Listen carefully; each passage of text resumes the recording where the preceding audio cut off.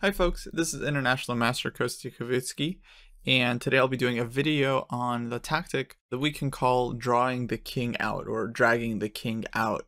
This is basically a, common tactic in chess where through usually a sacrifice you try and lure the king out of its main protection being the pawns in order to open the king up to attack by your pieces. I think this is a very intuitive idea for most players to understand.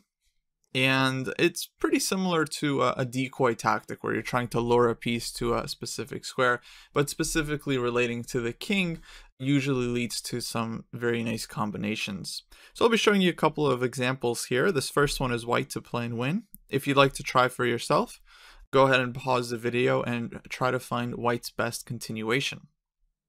Okay, hopefully you've paused the video and, and, given yourself a chance to solve the puzzle. And here white wins a very important tempo with the move, f6 check. Probably a pretty easy move to guess once you've uh, heard the topic of this video or heard the theme of the puzzle. But of course this still needs to be calculated accurately.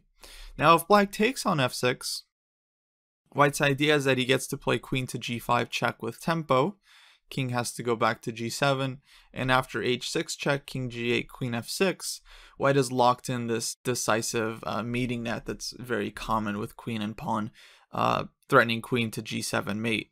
Black has one spite check on b2, but white can simply play king to b1, black's checks run out, and, and black will be forced to resign shortly as white is just giving mate. However, there was one more line to calculate. Of course, black's king was not obliged to accept the pawn, and black might also try king to h8.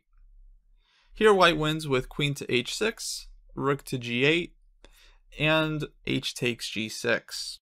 Now, if rook takes g6, we simply trade rooks and give mate on g7.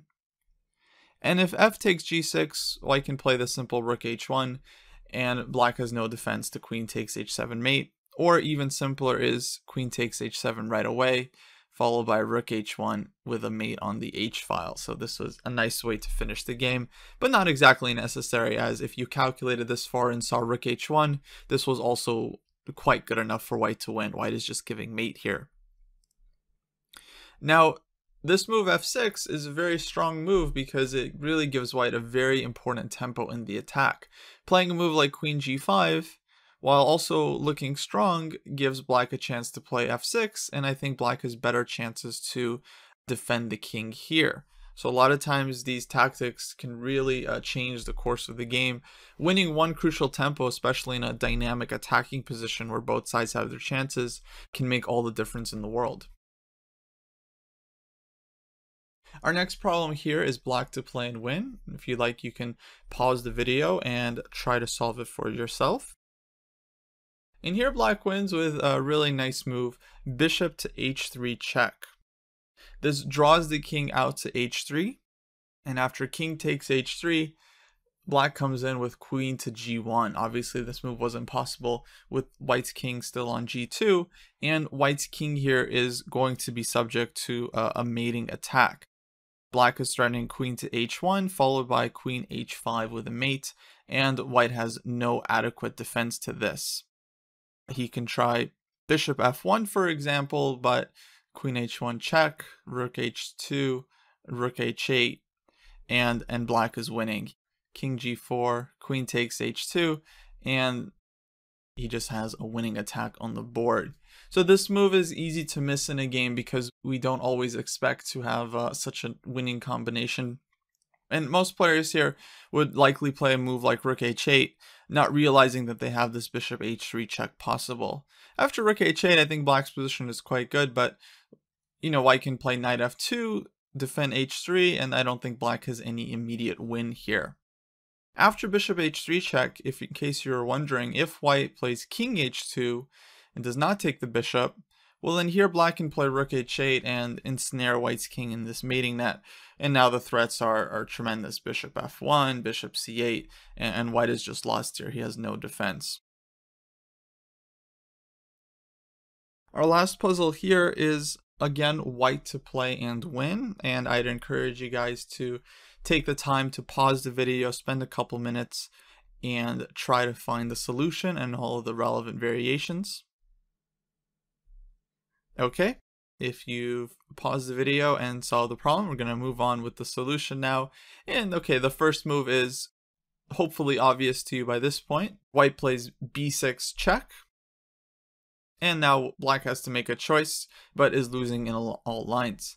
If black's king does not take the pawn if he goes back to the back rank, well this pawn acts as a very strong asset in white's attack, and white gives rook h8 check, and black is just lost on the back rank.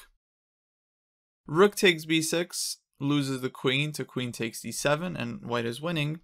And lastly, the key variation with king takes b6, you really needed to see white's next move in order for this entire tactic to work. If not, then, well, unfortunately, you have not found the full solution.